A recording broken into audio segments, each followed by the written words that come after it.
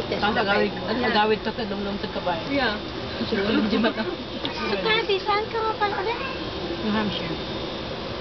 Hindi ka naman nag-email yata eh. Hindi. Wala naman siyang tao. Naong time.